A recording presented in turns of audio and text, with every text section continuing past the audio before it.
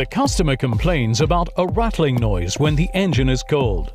The diagnosis is timing chain stretch. The standard procedure in the past was to replace the chain adjuster and the timing chain.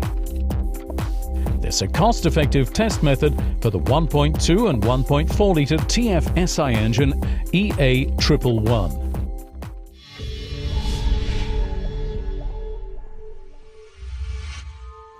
The procedure is demonstrated here for the 1.4-litre TFSI engine as an example. Bring the engine oil to a temperature of at least 40 degrees Celsius. Remove the front right wheel and the right wheel arch lining. Remove the air filter body. Detach the coolant pipe in front of the camshaft covers and push it to one side and remove the two sealing caps on the transmission side as per the repair manual. Caution! New sealing rings must be used for reassembly.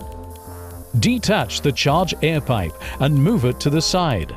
Slacken and take off the poly V belt.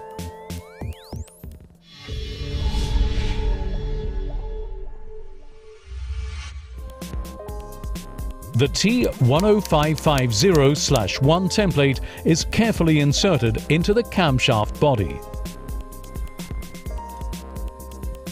To do so, the crankshaft must be rotated in the direction of the engine rotation until the template clicks in and locks the exhaust camshaft in place. Secure the template with a screw. Screw the T10550-2 centering screw into the oil sump and align it. Position the dial with scale T10550-3 on the belt pulley and align to the centering tip. Caution! The dial must not touch the oil sump or the centering pin.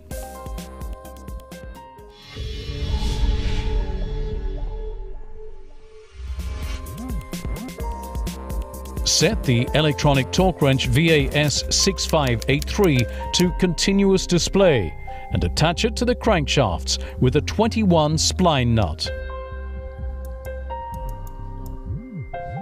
Turn it clockwise to the right and stop at 40 newton meters.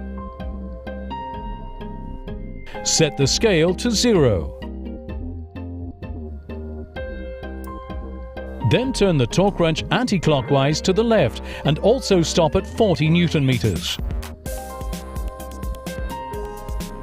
Read the value off the scale and write it down. If the scale value is 28 degrees or less, the timing chain is OK. If the scale value is more than 28 degrees, the chain has stretched and must be replaced. In the 1.2-litre TFSI engine, use the T10414 standard tool to lock the exhaust camshaft in place.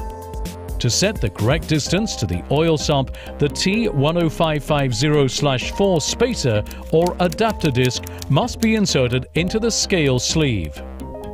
Caution, different limit values apply here. The timing chain is OK at scale values of 26 degrees and below. If the scale value is more than 26 degrees, the chain has stretched and must be replaced. The chain must always be replaced if there's chain skip during the measurement.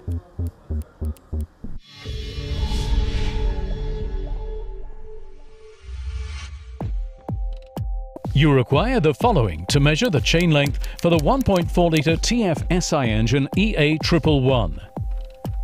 Stencil T10550-1 Centering pin T10550-2 Dial with scale T10550-3 Electronic torque wrench VAS 6583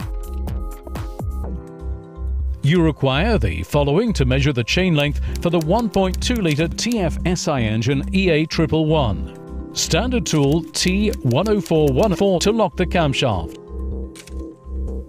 Centering pin T10550-2. Dial with scale T10550-3.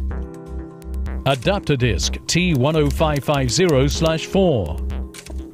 Electronic torque wrench VAS 6583.